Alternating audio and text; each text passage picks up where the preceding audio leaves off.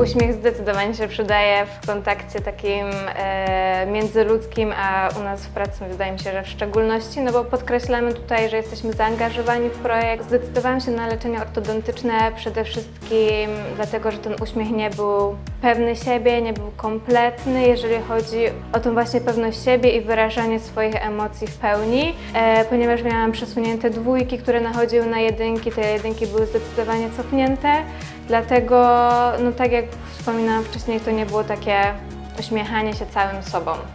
E, Exclusive Dental Studio wybrałam poprzez e, rozmowy ze znajomymi, którzy tutaj wcześniej się leczyli i taki właśnie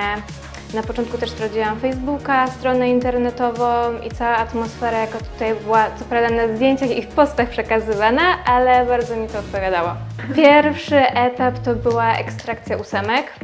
I już po tym pierwszym ruchu wiedziałam, że to jest dobry krok, bo po usunięciu tych dodatkowych zębów nagle poczułam taką przestrzeń w buzi,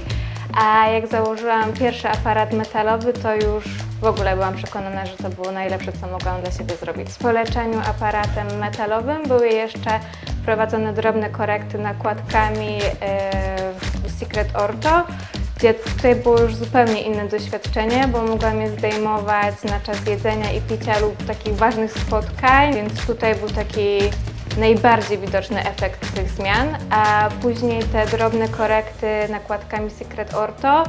e, zakończyły się w zeszłym roku w lutym i tutaj już była taka końcówka i naprawdę mogłam powiedzieć, że to jest to, o co mi chodziło. E, Zdecydowanie do,